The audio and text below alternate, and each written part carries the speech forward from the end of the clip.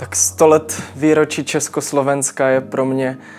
speciální příležitosti si uvědomit svoje češství, svůj domov, s, svou rodinu, protože je to pro mě uh, hodně důležitý místo, uh, to, že je to pro mě hodně důležitý uh, způsob života a že máme svobodu, uh, za kterou je potřeba se ještě do dneška pořád rvat a, a bojovat. Přemýšlel jsem nad tím dlouho, jestli existuje česká identita, vyloženě nějaká typická vlastnost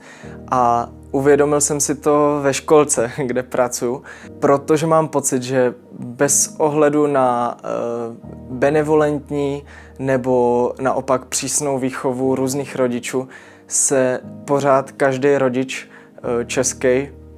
aspoň teda já mám tu zkušenost, snaží vést děti k ochotě, k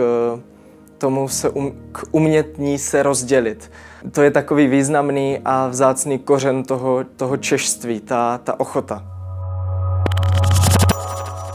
Vyberu si důstojnost, protože s tou se setkávám eh, pravidelně, kdykoliv, kdy se vrátím eh, domů a kdy eh, potkám svoji rodinu, svoje rodiče.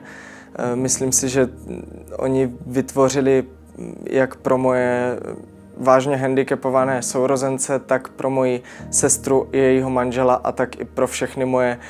patálie, krize a smutky i radosti eh, neuvěřitelně chápavou a důstojnou atmosféru. To důstojné přijetí člověka provází tak nějak eh, celý můj, celý můj život, takže to je pro mě takové svědectví vlastně i o tom češství, o té ochotě, o té důstojnosti.